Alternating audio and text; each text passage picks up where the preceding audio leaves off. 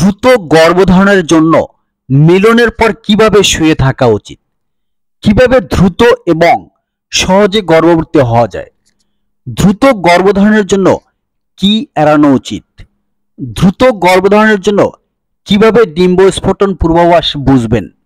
ভিডিওটি শুরু করার প্রথমে ছোট্ট একটি রিকোয়েস্ট ভিডিওতে একটি লাইক দিয়ে ভিডিওটি দেখা শুরু করুন।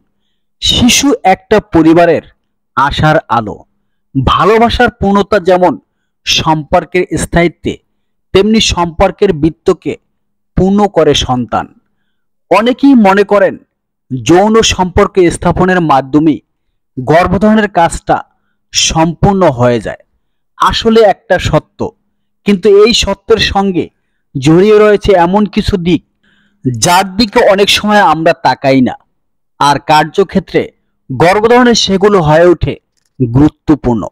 তাই গর্ভধারণকে নিশ্চিত করতে গেলে বীর্যের বা স্প্রামের সঙ্গে ডিম্বশয়ের মিলনকে শক্তিশালী করতে হবে, যার ফলে ভ্রূণ শক্তিশালী হবে।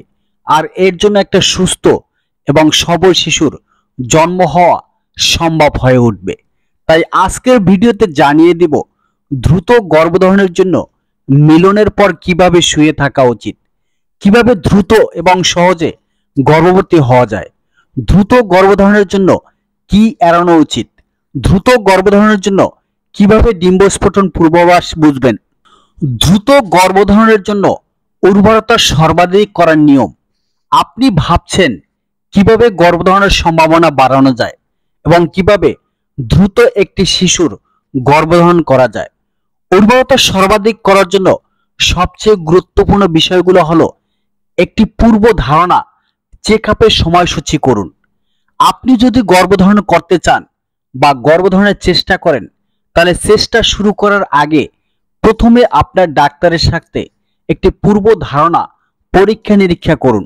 আপনার ডাক্তার ফলিক অ্যাসিড সহ প্রসাবপূর্ব ভিটামিনগুলি লিখে দিতে পারেন, যা গর্ভাবস্থার প্রাথমিক পর্যায়ে প্রয়োজন। একটি প্রি কনফেকশন চেক আপ গর্ভবতী হওয়ার আগে সমাধান করা প্রয়োজন। যা কোনো অন্তর্নিহিত চিকিৎসা সমস্যা নির্ণয় করতে সাহায্য করে। আপনার মাসিক চক্র বুঝুন আপনার মাসিক চক্র বোঝা এবং আপনার পিরিয়ড ট্র্যাক করা আপনার কখন সবচেয়ে উর্বর তা নির্ণয় করতে সাহায্য করবে। আপনি যদি গর্ভধারণের পরিকল্পনা করেন, তবে আপনি কখন ডিম্ব স্ফোটন করেছেন তা নির্ণয় করা গুরুত্বপূর্ণ। আপনি আপনার ডিম্ব স্ফোটনের সময় আরও সঠিকভাবে ভবিষ্যৎবাণী করতে সাহায্য করার জন্য ডিম্ব স্ফোটন কিট ব্যবহার করতে পারেন। ডিম্ব স্ফোটনের সময় সহবাস করুন। আপনার ডিম্ব স্ফোটনের ঠিক আগে আপনার গর্ভধারণের সম্ভাবনা বাড়িয়ে তুলবে। তাই একজন মহিলার মাসিকের কয়েকদিন পরে যখন অবলশন ও ডিম্বস্ফোটন হয়, তার দু থেকে তিন দিন আগ থেকে দু একদিন পর পর্যন্ত সহবাস করুন।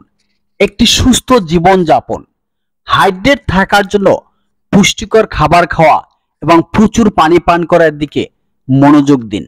পর্যাপ্ত ব্যায়াম এবং একটি আদর্শ ওজন বজায় রাখা আপনার উর্বরতা বাড়াতেও সাহায্য করে। এখানে সতর্কতার একটি শব্দ হচ্ছে অতিরিক্ত ব্যায়াম আপনার মাসিক চক্রকে ধ্বংস করতে পারে এবং আপনার উর্বরতাকে প্রভাবিত করতে পারে। তাই মাঝারি মাত্রার ব্যায়ামের দিকে মনোযোগ দিন। একটি সুস্থ শরীরের ওজন বজায় রাখুন।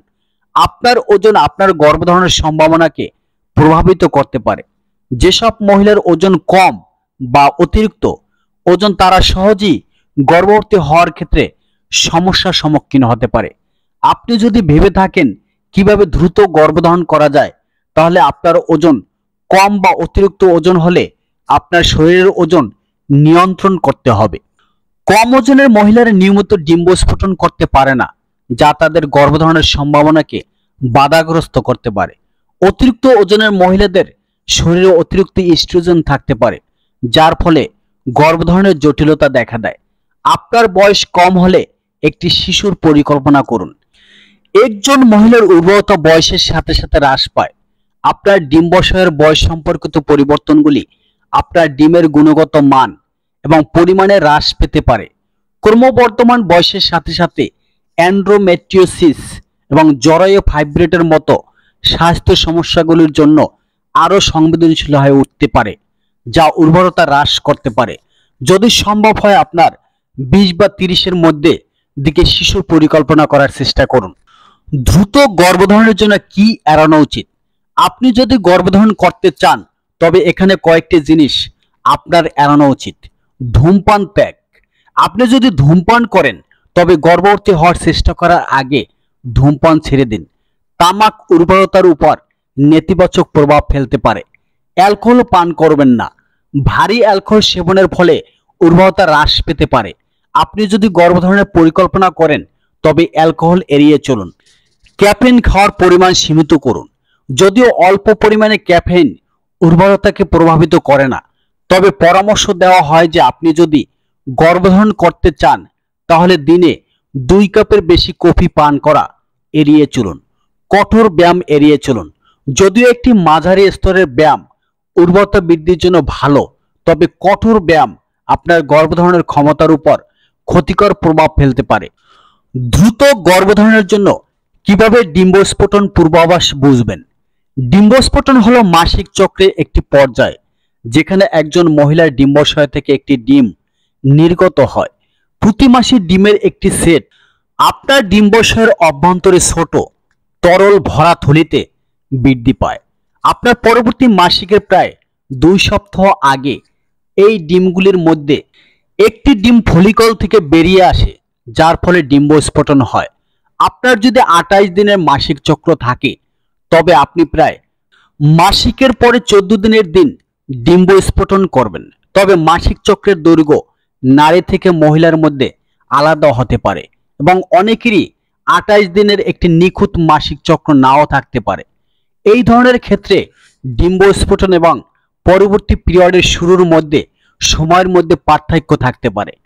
আপনার চক্রের দৈর্ঘ্য এবং মধ্যবিন্দু নির্ধারণ করতে আপনি একটি মাসিক ক্যালেন্ডার বজায় রাখতে পারেন। ডিম্বস্ফোটনের কয়েকদিন আগে এবং দিনে সহবাস করলে আপনার গর্ভবতী হওয়ার সম্ভাবনা উন্নত হতে পারে। আপনার মাসিক চক্র ট্র্যাক করার পাশাপাশি আপনি ডিম্বস্ফোটনের এই লক্ষণগুলো দেখতে পারেন। বিশাল শরীরের তাপমাত্রায় সামান্য বৃদ্ধি। থার্মোমিটার দ্বারা পরিমাপ করা যেতে পারে। পরিষ্কার, পাতলা এবং প্রসারিত জনিস্রাব উচ্চ স্তরের লুইটেনাজিং হরমোন একটি হোম ডিম্বস্ফোটন কিটে পরিমাপ করা যেতে পারে। স্ফীত হওয়া, স্তন আবেগ প্রবণতা, হালকা দাগ, হালকা পেটে ব্যথা, এইসব লক্ষণ প্রকাশিত হতে পারে।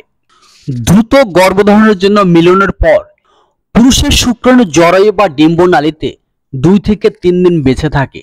কিন্তু নারীর ডিম্বন মাত্র বারো থেকে চব্বিশ ঘণ্টা নিষিক্ত হওয়ার অবস্থায় থাকে। এরপর সেখানে আর কোনো শুক্রাণু কাজ করতে পারে না। তাই ডিম্বাণু নিষিক্ত হওয়ার সম্ভাব্য দিনে শারীরিক মিলন না করে মাসিকের কয়েকদিন পরে যখন ওভুলেশন বা ডিম্বস্ফোটন হয় তার তিন থেকে চার দিন আগ থেকে দুই একদিন পর পর্যন্ত সহবাস করুন, যেন ডিম্বাণু প্রস্তুত হলে শুক্রাণু মিলিত হতে পারে। শারীরিক মিলন প্রতিদিন নয়, অনেকের ধারণা বাচ্চা চাইলে প্রতিদিন শারীরিক মিলন জরুরি, এটা ঠিক নয়। প্রতিদিন শারীরিক মিলনে অবসাদ বা ক্লান্তি চলে আসতে পারে। নারীর মিলিত হওয়ার আগ্রহ কমে যেতে পারে এবং পুরুষের বীর্যের ঘাটতি দেখা দিতে পারে। এর ফলে ডিম্বাণু প্রস্তুত হওয়ার সময় শারীরিক মিলন না ঘটার সম্ভাবনা তৈরি হতে পারে। তাই একদিন পর পর শারীরিক মিলন গর্ভবতী হওয়ার জন্য সবচেয়ে ভালো উপায়। এতে করে শারীরিক মিলনের আগ্রহ থাকে, আবার ডিম্বাণু নিষিক্ত হওয়ার সম্ভাবনাও বেশি থাকে।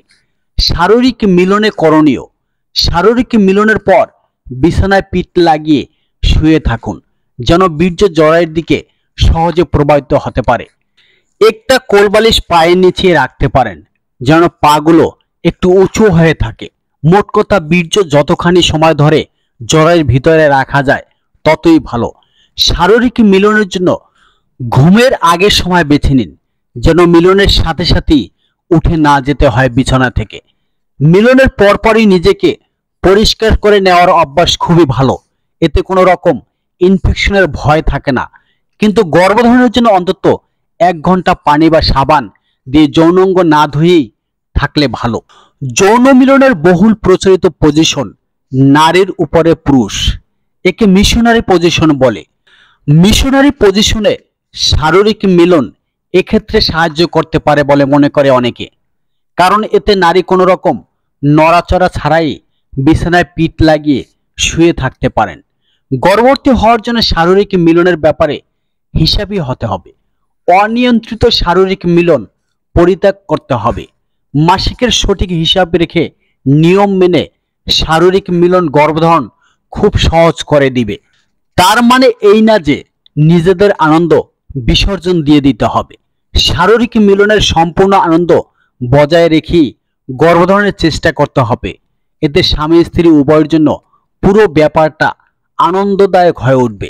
যৌন মিলনের পর বিছানায় শুয়ে থাকুন। গর্ভবতী হওয়ার সম্ভাবনা বাড়ানোর জন্য যৌন মিলনের পরে পনেরো থেকে বিশ মিনিটের জন্য বিছানায় থাকুন। এই অপেক্ষার সময় শুক্রাণুকে জরায়ুমুখে যেতে এবং সেখানে থাকতে দেয়। সহবাসের পরপরে বাথরুমে যাওয়া থেকে বিরত থাকুন। আশা করি বিষয়গুলি খুব সুন্দরভাবে বুঝতে পেরেছেন।